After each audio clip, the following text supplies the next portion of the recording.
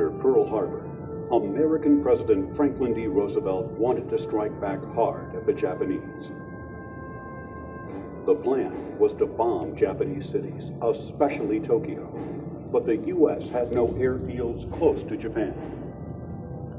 Traditional naval planes would have to be launched from aircraft carriers dangerously near Japan.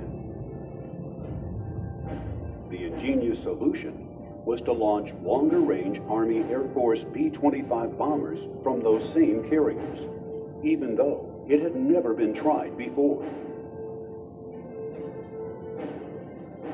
Lieutenant Colonel James H. Doolittle would plan and lead the attack.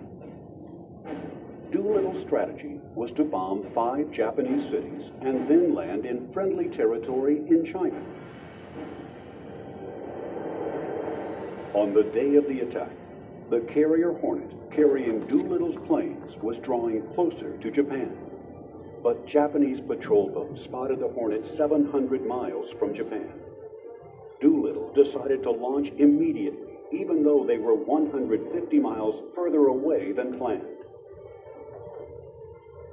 Doolittle's plane was first in line for takeoff.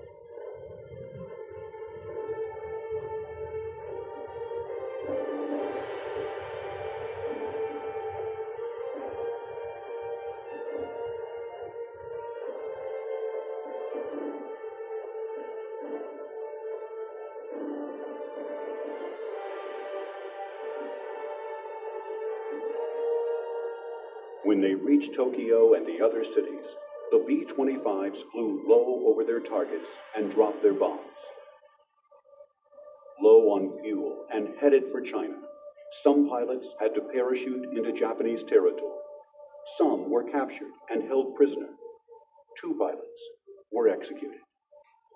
Other B 25 pilots crash landed or parachuted into Japanese held areas of China. Chinese soldiers helped rescue some of them.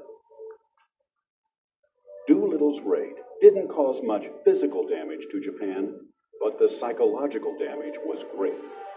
For centuries, the Japanese believed that they were invulnerable to attack.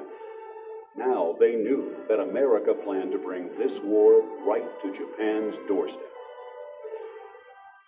Doolittle was awarded the Medal of Honor for his courage.